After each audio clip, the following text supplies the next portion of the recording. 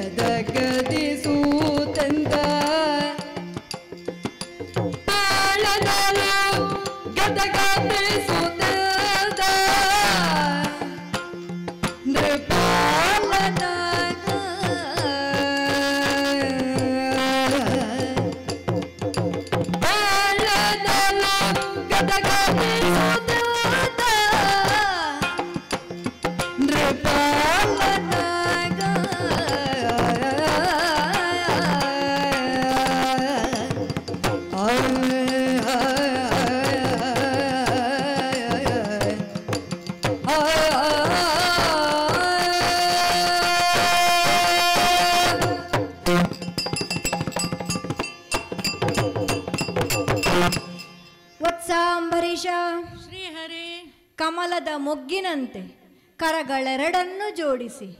ಶಿರಬಾಗಿ ನನ್ನ ಅಂಗ್ರಿಗೆ ಅಭಿನಮಿಸ್ತಾ ಇದ್ದೀಯಲ್ಲ.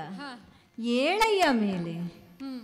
ವತ್ಸ ನಿನ್ನ ಭಕ್ತಿಯ ತೀವ್ರತೆ ಆ ಪರಮಾದರದೆ ನಿನ್ ನನ್ನನ್ನು ನಿನ್ನ ಮುಂದೆ ತಂದು ಇರಿಸಿತು ನೋಡು. ನಿನ್ನ ಮುಂದೆ ಮೈದೋರಿ ಬಂದಿದ್ದೇನೆ ನೋಡು. ವತ್ಸ ನಿನ್ನ ಭಕ್ತಿಯ ಅಗಾಧತೆ ಸ್ಥಿತಪ್ರಜ್ಞನಾದಂತಹ ನನ್ನ ಮುಖದಲ್ಲೂ ಆ ಪ್ರಸನ್ನತೆಯನ್ನು ತಂದಿರಿಸಿತು. ಸಂತುಷ್ಟನಾದೆನಯ್ಯ ಸಂತುಷ್ಟನಾದೆ. ಕೃತಾರ್ಥನಾದೆ. ಹಾಗಾಗಿ ಈ ದ್ವಾದಶಿ ಪಾರಣೆಯ ಪರ್ವಕಾಲದಲ್ಲಿ ಒಲಿದು ಬಂದಂತಹ ನಾನು ಸಂತುಷ್ಟನಾಗಿ ನಿನಗೆ ಹೇಳ್ತಾ ಇದ್ದೇನೆ. ನಿನಗೇನು ವರಬೇಕು ಕೇಳಿಕೊ. ನಿನ್ನ ದಿವ್ಯ ದರ್ಶನವನ್ನು ಕಂಡಂತ ಮೇಲೆ ನನಗಿನ್ನೇನು ಬೇಕು? ಶ್ರೀಹರಿ. ಹರಿಯ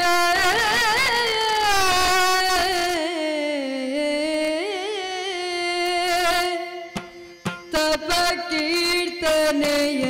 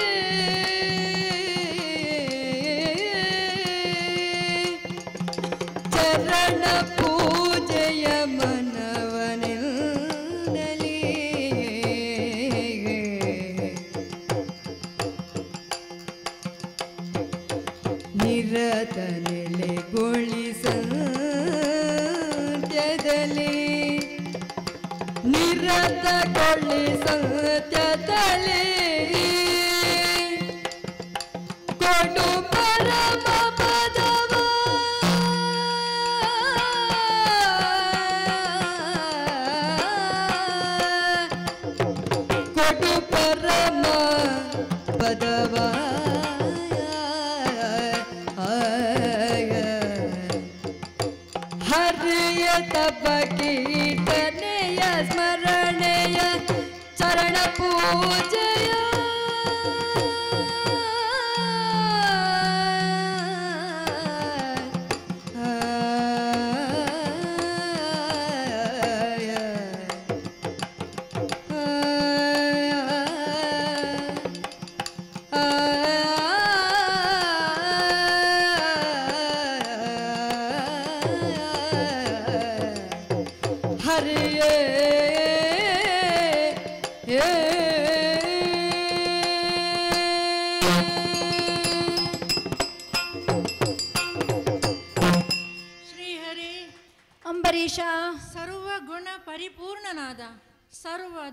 ವಿವರ್ಜಿತನಾದ ನಿನ್ನ ದರ್ಶನ ಭಾಗ್ಯವನ್ನು ಕಂಡ ಮೇಲೆ ನನಗಿನ್ನೇನು ಬೇಕು?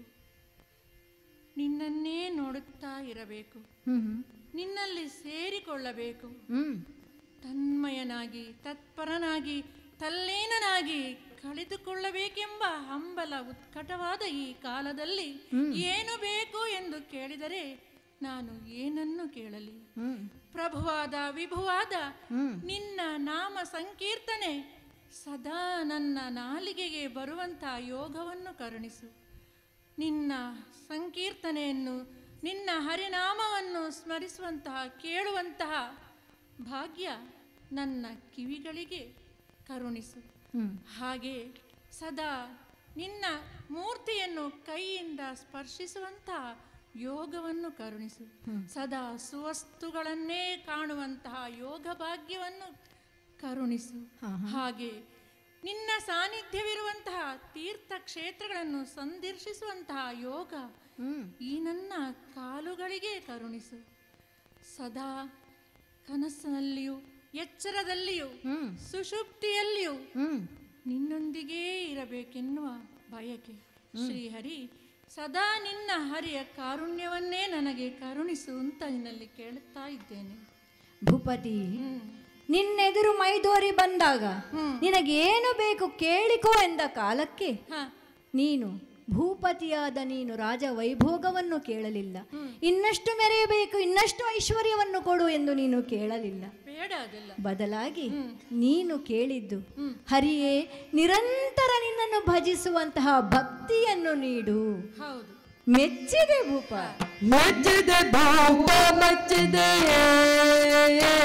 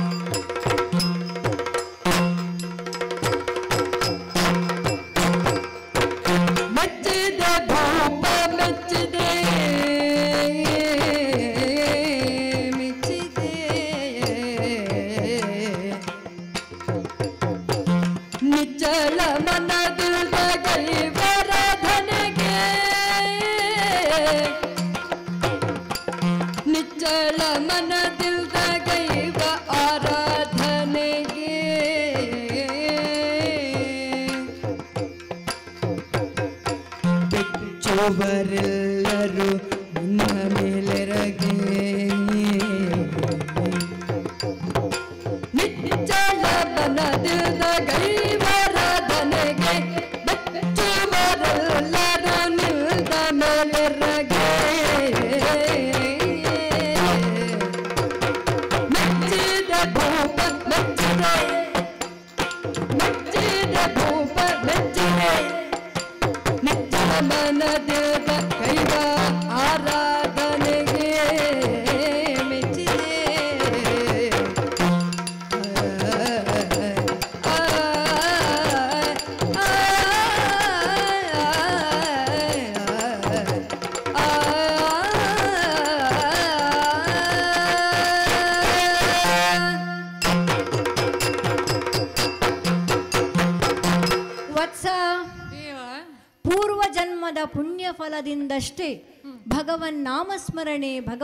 ಭಗವಂತನ ವೃತಾಚರಣೆ ಮಾಡುವ ಆ ಕಾರ್ಯವು ಕೈಗೊಳ್ಳುವುದು.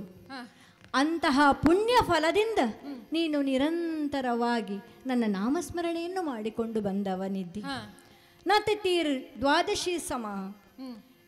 ದ್ವಾದಶಿಗೆ ಸಮನಾದ ಬೇರೆ ತಿಥಿ ಇಲ್ಲ.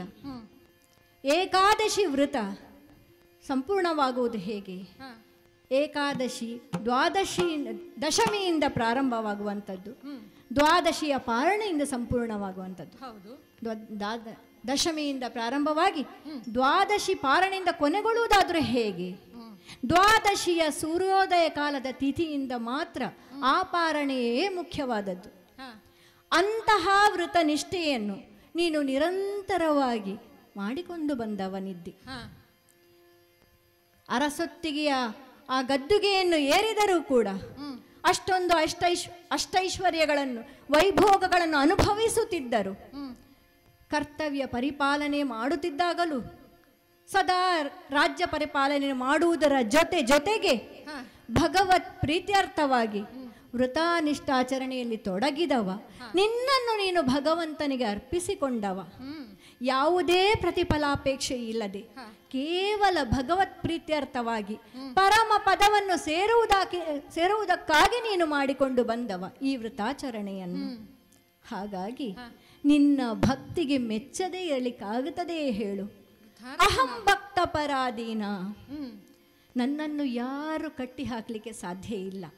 ಆದರೆ ಭಕ್ತರ ಭಕ್ತಿ ಎಂಬ ಪಾಶದಿಂದ ಮಾತ್ರ ನನ್ನನ್ನು ಕಟ್ಟಿ ಹಾಕಲು ಸಾಧ್ಯ ಅಂತಹ ಭಕ್ತಿಯಿಂದ ನೀನು ನನ್ನನ್ನು ಈಗ ಬಂಧಿಸಿದ್ದೀಯ. ಕೃತಾರ್ಥನಾದೆ ದೇವ ಕೃತಾರ್ಥನಾದೆ. ಅಂಬರೀಷ ನಿನ್ನೊಳಗೆ ನಾನಿದ್ದೇನೆ.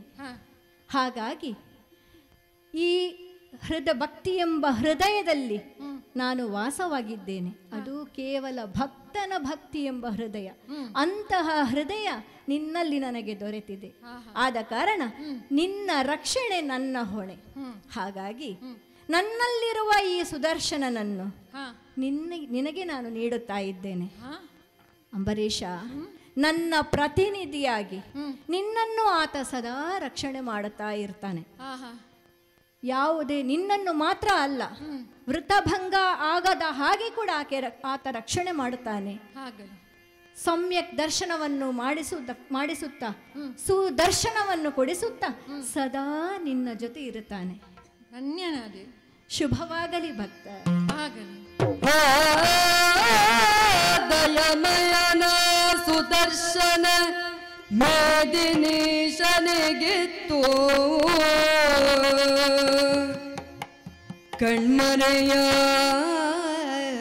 ಕಣ್ಮರೆಯಾದ ತಕ್ಷಣ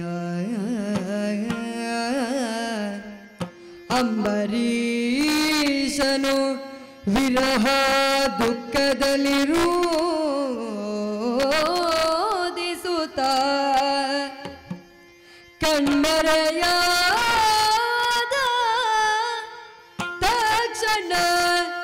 ಅಂಬರೀಷನು ವಿರಹ ದುಃಖದಲ್ಲಿರೋದಿಸುತ್ತ ತಂದದನು ತನ್ನ ಆರಾಧನ ಗೃಹದಲ್ಲಿರಿಸಿ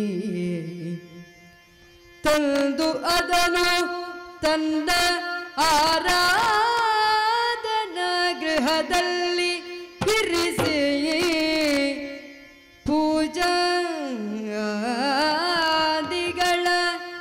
ಎಸಗುತ್ತಲಿರೆ ಸದ್ಭಕ್ತಿ ಭಾವದಲ್ಲಿ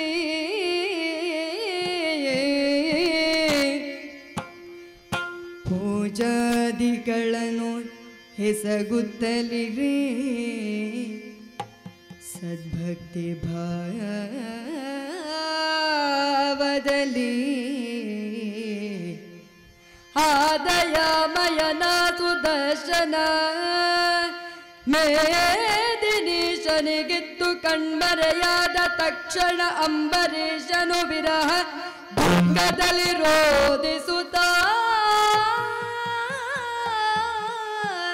ಆ, ಆ,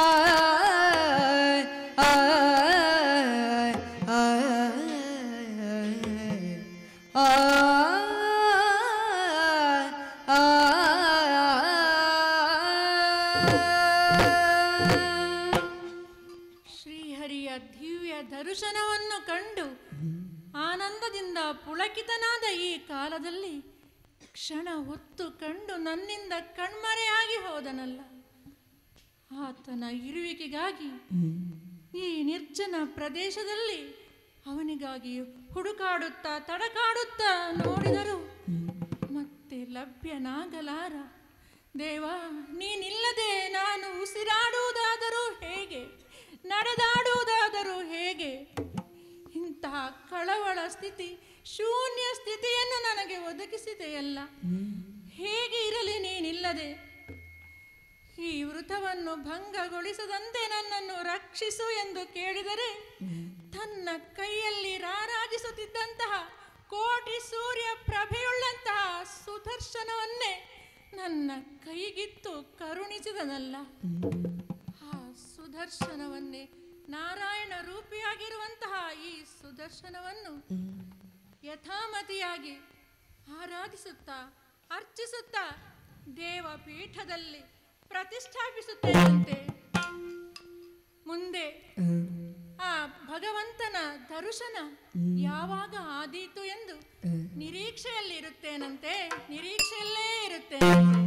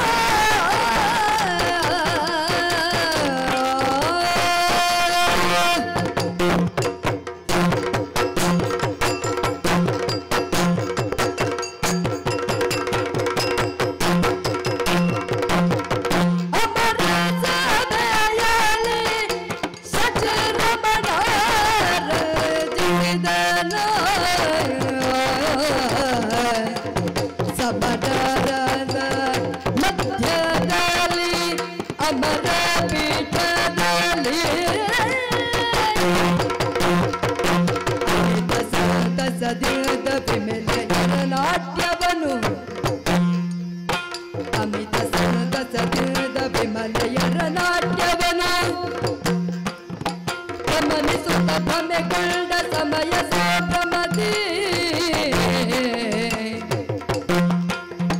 ಗಮನಿಸುತ್ತ ಭ್ರಮೆಗೊಂಡ ಸಮಯ ಸಂಭ್ರಮದಿ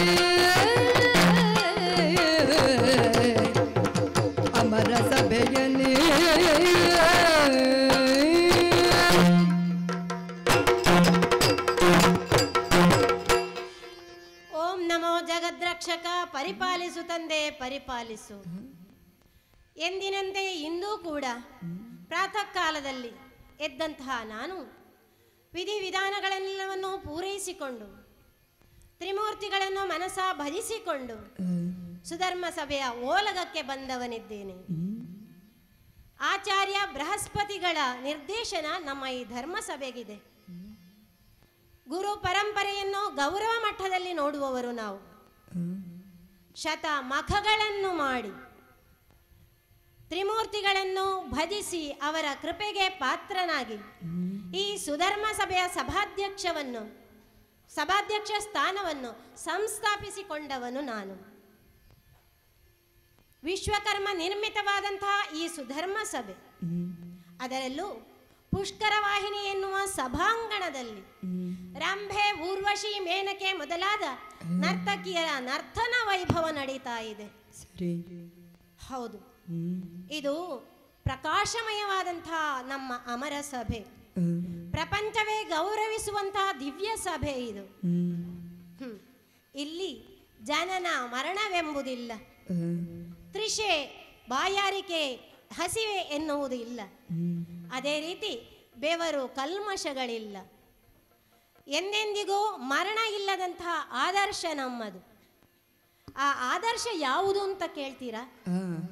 ಅದೇ ಮೌಲ್ಯ ಜೀವನ ಮೌಲ್ಯಯುತವಾದಂತಹ ತಾಳ್ಮೆ. ಆ ತಾಳ್ಮೆ ಎಂದೆಂದಿಗೂ ನಾವು ತಾಳ್ಮೆಯಿಂದಲೇ ಇರುವಂತಹ ಅದನ್ನೇ ವಿವರಿಸಿಕೊಂಡು ಅದರಂತೆ ನಡೆದುಕೊಂಡು ಹೋಗುವವರು ನಾವು. ಹಾ. ನೂರು ಯಾಗಗಳನ್ನು ಮಾಡಿ ಸುಧರ್ಮ ಸಭೆಯ ಪೀಠ ಪೀಠವನ್ನು ಏರುವಂತಹ ಸಂದರ್ಭದಲ್ಲಿ ಆ ಸುಧರ್ಮ ಸಭೆಯ ಪೀಠಕ್ಕೆ ನಮಸ್ಕರಿಸಿ ನಾನು ಹೇಳಿದ್ದೇನು. ಇದಂ ನಮಮ ಇದು ನನ್ನದಲ್ಲ ಎನ್ನುವ ಹಾಗೆ. ಹಾಗಾದರೆ ಸುಧರ್ಮ ಸಭೆಯ ಪೀಠವನ್ನು ಏರಿದ್ದು ಯಾಕೆ? ಹೌದು. ಸಮಾಜ ಕಲ್ಯಾಣವನ್ನು ನೋಡಬೇಕು. ಸಮಾಜ ಸೇವೆ ಆ ಲೋಕದ ಕಲ್ಯಾಣವನ್ನು ಮಾಡುವಂತಹ ಒಂದು ಕರ್ತವ್ಯ ನನಗೆ ಬೇಕು. ಆ ಸೇವೆ ಮಾಡುವಂತಹ ಸೌಭಾಗ್ಯ ನನಗೆ ಬೇಕು ಅಂತ ಹೇಳುವ ದೃಷ್ಟಿಯಿಂದ ನಾನು ಈ ಸುಧರ್ಮ ಸಭೆಯ ಅಧ್ಯಕ್ಷನಾಗಿದ್ದೇನೆ ಅಂದರೆ ಸೇವಾ ಸಮ ಮನೋಭಾವ. ಹಾಗೆ ಆ ಸಮಯದಲ್ಲಿ ಬಹಳ ಸಂತೋಷಪಟ್ಟವನು ಇದ್ದೇನೆ. ದುಃಖಪಟ್ಟವನೂ ಹೌದು. ಒಂದೊಮ್ಮೆ ಓಡಿ ಹೋದದ್ದೂ ಇದೆ. ಖಿನ್ನನಾದವನು ಹೌದು. ಇದೆಲ್ಲ ಯಾಕೆ? ಅಂದರೆ ಯೋಗ್ಯತೆ ಇದ್ದವರಿಗೆ ಮಾತ್ರ ಈ ಪೀಠ. ಯೋಗ್ಯತೆ ಇಲ್ಲದವರು ಬಂದಲ್ಲಿ ಲೋಕದ ಕಲ್ಯಾಣ ಆದೀತೆ. ಸಮಾಜ ಹೇಗೆ ಉಳಿದಿತ್ತು ಎನ್ನುವ ದೃಷ್ಟಿಯಿಂದ ನಾನು ಅಂತಹ ಸಂದರ್ಭದಲ್ಲಿ ಅಂತಹ ಒಂದು ಕೆಲಸ ಓಡಿ ಹೋದದ್ದು ಎಲ್ಲವನ್ನು ಮಾಡಿದ್ದೇನೆ. ಮತ್ತೆ ಆ ಶ್ರೀಹರಿಯ ಕರುಣೆಯಿಂದ ಪುನಃ ಯಥಾಸ್ಥಿತಿಗೆ ಬಂದವನಿದ್ದೇನೆ. ನೋಡುವುದಕ್ಕೆ ದೇವೇಂದ್ರ ಅಗ್ರಪೀಠದಲ್ಲಿ ಕುಳಿತಿದ್ದಾನೆ. ಅವನಿಗೇನು ಸಮಸ್ಯೆ? ಅಲ್ಲ. ಒಂದು ಮನೆ ನಿರ್ಮಲವಾಗಿ, ಸುಸೂತ್ರವಾಗಿ ಆ ಮನೆಯ ಕರ್ತವ್ಯಗಳೆಲ್ಲ ಶಾಂತವಾಗಿ ನಡೀತಾ ಇದೆ ಅಂತ ಹೇಳಿದ್ರೆ ಅಲ್ಲಿಯ ಯಜಮಾನ ತುಂಬಾ ಯೋಚನೆ ಮಾಡ್ತಾನೆ ಅಂತ ಅರ್ಥ. ಅವನು ಯೋಚನಾ ಮಗ್ನನಾಗಿ ಸಮರ್ಪಕವಾಗಿ ಆ ಮನೆಯನ್ನು ನಡೆಸಿಕೊಂಡು ಹೋಗ್ತಾ ಇದ್ದಾನೆ. ಹಾಗೆ ಈ ಸುಧರ್ಮ ಸಮಯವನ್ನು ನಾನು ಪರಿಪೂರ್ಣವಾಗಿ ನಿರ್ವಹಿಸಿಕೊಂಡು ಹೋಗ್ತಾ ಇರುವಂತಹ ಸಮಯ. ಏನೆಲ್ಲ ವೈಭೋಗಗಳು ಬೇಕು ಅದೆಲ್ಲವನ್ನು ಈ ಓಲಗದಲ್ಲಿ ಅರ್ಪಿಸಿ ಆಯಿತು. ಹಾಗೆ ಯೋಚನೆ ಮಾಡ್ತಾ ಇರುವಂತಹ ಸಂದರ್ಭದಲ್ಲಿ ಇನ್ನೇನು ಸ್ಥಗಿತಗೊಳಿಸುವುದು ಅಂತ ಯೋಚನೆ ಮಾಡ್ತಾ ಇದ್ದಾಗ ಕೇಳಿತಲ್ಲ ಒಂದು ನಾದ. ಕಂತು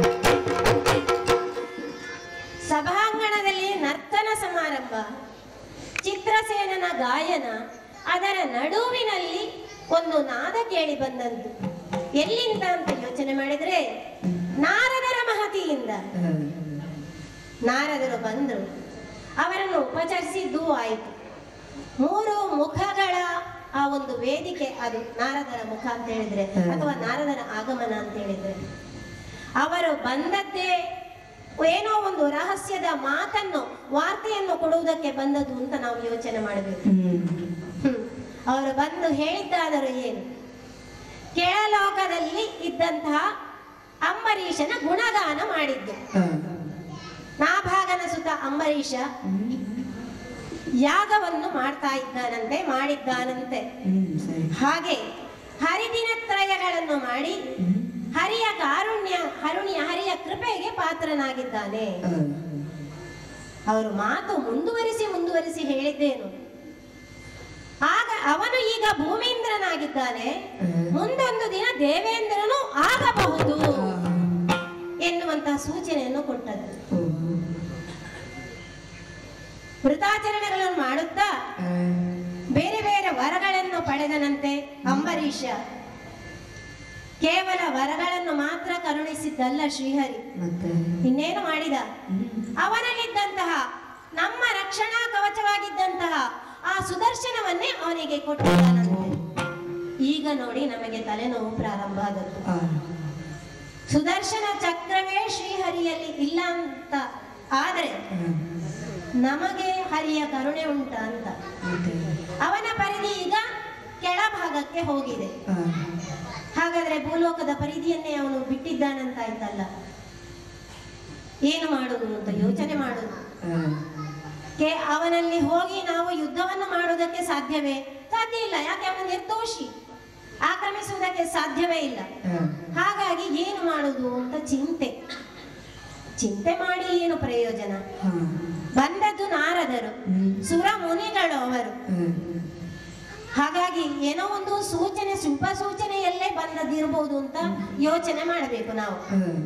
ಈ ವಿಷಯ ನಾರದರು ಹೇಳಿದ ವಿಷಯ ಎಷ್ಟು ಆಳಕ್ಕೆ ಉಂಟು ಅಂತ ಗೊತ್ತಿಲ್ಲ.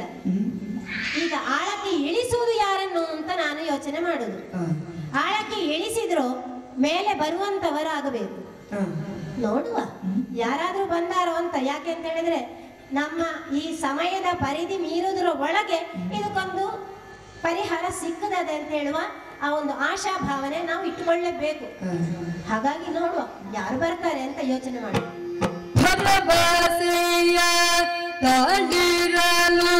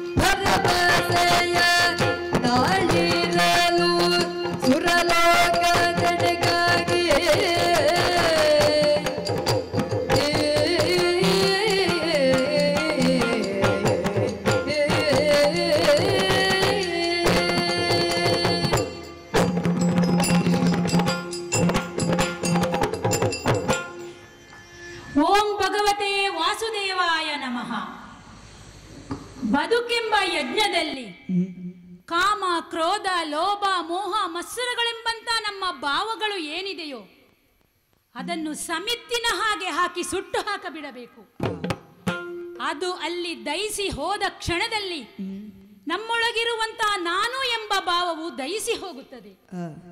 ನಾನು ಎಂಬುದು ಯಾವಾಗ ದಯಿಸಿ ಹೋಯಿತು ಆಗ ಅಲ್ಲಿ ಆಗುವುದು ಆತ್ಮ ಸಾಕ್ಷಾತ್ಕಾರ. ಆತ್ಮ ಸಾಕ್ಷಾತ್ಕಾರವಾಯಿತು ಅಂತ ಆದರೆ ಮುಂದೇನು? ಮುಂದೆ ಆಗುವುದು ಭಗವಂತನ ಸಾಕ್ಷಾತ್ಕಾರ. ಆ ಸಾಕ್ಷಾತ್ಕಾರದ ಹಾದಿಯಲ್ಲಿ ಸಾಗುತ್ತಿರುವವನು ಈ ದುರ್ವಾಸ. ಎಲ್ಲ ಲೌಕಿಕ ಭಾವನೆಗಳನ್ನು ಸುಟ್ಟು ಹಾಕಿ ಯಾವ ಲೌಕಿಕ ಭಾವನೆಗಳು ನನ್ನನ್ನು ತಟ್ಟಲಾರವು ಎಂಬ ಭಾವದಲ್ಲಿಯೇ ಬದುಕುತ್ತಿರುವವನು ನಾನು. ಯಾವ ಕಾಮವಾಗಲಿ, ಲೋಭವಾಗಲಿ, ಮೋಹವಾಗಲಿ ನನ್ನನ್ನು ತಟ್ಟಲಾರದು. ಲೋಕ ನನ್ನನ್ನು ಗುರುತಿಸುವುದು. ಅನುಸೂಯ ದಂಪತಿಯ, ಅತ್ರಿ ಮಹರ್ಷಿ ಮತ್ತು ಅನುಸೂಯ ದಂಪತಿಯ ಸುಪುತ್ರನಾಗಿ. ಶಿವನ ಆಂಶಿಕ ಅವತಾರವಾಗಿ ನಾನು ಜನ್ಮವನ್ನೇ ತಾಳಿದರೂ ಸಹ ದುರ್ವಾಸನೆಂದೇ ಲೋಕದಲ್ಲಿ ಗುರುತಿಸಿಕೊಳ್ಳುವಂಥವನು. ಸರಿ. ಲೋಕ ಹೇಳುವ ಮಾತಿದೆ. ದುರ್ವಾಸ ಶೀಘ್ರ ಕೋಪಿ ಮುಂಗೋಪಿ ವಿವೇಚಿಸದೆ ಕಾರ್ಯಪ್ರವರ್ತನಾಗುವವನು. ಅದಕ್ಕಾಗಿ ನಾನು ತಲೆ ಕೆಡಿಸಿಕೊಂಡವನಲ್ಲ. ಅದು ಅವರವರ ಭಾವನೆಗೆ ಬಿಟ್ಟದ್ದು. ಯಾವುದು ತಪ್ಪು ಅಂತ ಖಂಡಿತೋ ಅದನ್ನು ಆ ಕ್ಷಣದಲ್ಲಿ ಖಂಡಿಸುವ ಗುಣಧರ್ಮ ನನ್ನದು. ಎದುರಿಗಿರುವವನ ಭಾವ ಹೇಗೆ? ಕೋಪಿಷ್ಟನೋ ಮೃದು ಸ್ವಭಾವನೋ ಅದನ್ನು ಚಿಂತಿಸಿ ನಾನು ಕಾರ್ಯಪ್ರವರ್ತನಾಗುವುದಿಲ್ಲ ಹಾಗೊಂದು ವೇಳೆ ನಾವು ಕಾರ್ಯಪ್ರವರ್ತರಾದೆವು ಅಂತಾದರೆ ನಮ್ಮದಾದಂತಹ ನಮ್ಮತನ ಎಲ್ಲಿಗೆ ಹೋಯಿತು? ಅದನ್ನು ಸಮಾಜಕ್ಕೆ ಆಗಲಿ ಲೋಕಕ್ಕಾಗಲಿ ನಾವು ವ್ಯಕ್ತಪಡಿಸುವ ಪರಿ ಎಂತು? ಹಾಗಾಗಿ ನಾನು ಅದಕ್ಕೆಲ್ಲ ತಲೆಗೊಡುವವನೂ ಅಲ್ಲ. ಮಾಡುವಂತ ಕಾರ್ಯ ಆ ಭಗವಂತನ ಪ್ರೇರಣೆಯೆಂದೇ ತಿಳಿದು ಕಾರ್ಯಪ್ರವರ್ತನಾಗುವನು. ನನಗೆ ತಿಳಿದಿದೆ. ಎಲ್ಲದಕ್ಕೂ ಸೂತ್ರಧಾರ ಅವನು. ಸೂತ್ರಧಾರ ಸೂತ್ರವೂ ಅವನದೇ ಸೂತ್ರಧಾರನೂ ಅವನೇ. ಅವನ ಸೂತ್ರಧಾರಕ್ಕೆ ಸಿಲುಕಿ ನಲಿವ ಗೊಂಬೆಗಳು ಮಾತ್ರ ನಾವು. ಹಾಗಾಗಿ ಅವನಲ್ಲೇ ಸದಾ ಭಕ್ತಿಯನ್ನಿಟ್ಟು ಅವನು ಸಂಕಲ್ಪಿಸಿದ ಕಾರ್ಯ ಏನಿದೆಯೋ ಅದನ್ನು ಲೋಕಕ್ಕೆ ತಲುಪಿಸುವುದಷ್ಟೇ ನನ್ನ ಕಾರ್ಯ. ಅದಕ್ಕಾಗಿಯೇ ನಾನು ಸದಾ ಹೆಜ್ಜೆಯನ್ನು ಮುಂದಿಡುತ್ತಾ ಹೋಗುವವನು. ಸದಾ ನಾನು ವರುಷಗಟ್ಟಲೆ ಧ್ಯಾನಾಸಕ್ತನಾಗಿ ಕುಳಿತಿರುವುದೂ ಉಂಟು. ಇಹದ ಪರಿವೇ ಇಲ್ಲದೆ ಜ್ಞಾನವೆಂಬ ಅಂಗಿಯನ್ನು ತೊಟ್ಟು ನಾನು ದೀರ್ಘಕಾಲ ಕುಳಿತೆನೆಂದಾದರೆ ಎಚ್ಚರಗೊಳ್ಳುವವನೂ ಅಲ್ಲ. ಎಚ್ಚರಗೊಂಡೆ ಅಂತಾದರೆ ಅದು ಅವನ ಪ್ರೇರಣೆಯಿಂದ ಮಾತ್ರ. ಯಾವುದೋ ಅವನ ಸಂಕಲ್ಪ ಸಿದ್ಧಿಗಾಗಿ ಅವನು ನನ್ನನ್ನು ಎಚ್ಚರಗೊಳಿಸಿದ್ದಾನೆ. ಅದಕ್ಕಾಗಿ ನನ್ನನ್ನು ಪ್ರೇರೇಪಿಸಿದ್ದಾನೆ ಎಂಬ ಭಾವದಿಂದ ಎಚ್ಚರಗೊಳ್ಳುತ್ತೇನೆ. ಬದುಕುವುದಕ್ಕಾಗಿ ಕಿಂಚಿತ್ತು ಆಹಾರವನ್ನು ಸೇವಿಸುವುದುಂಟು. ಆಹಾರ ಎಲ್ಲಿ ಸಿಗುತ್ತದೆ ಅಂತಾದರೆ ಹರಿ ತೋರಿಸಿದ ಹಾದಿಯಲ್ಲಿ. ಹಾಗಾಗಿ ಈಗ ಧ್ಯಾನದಿಂದ ಎಚ್ಚರಗೊಂಡಿದ್ದೇನೆ. ಹರಿ ಪ್ರೇರಣೆಯಾಗಿದೆ ನೀನು ಸುರಲೋಕದತ್ತ ಸಾಗು ಎಂಬುದಾಗಿ ಹಾಗಾಗಿ ಮುಂದಾಗುವ ಕಾರ್ಯವೇನು ಅರಿತವನು ಅವನೊಬ್ಬನೇ ನನ್ನ ಪಯಣ ಏನಿದ್ದರೂ ಸುರಲೋಕದತ್ತ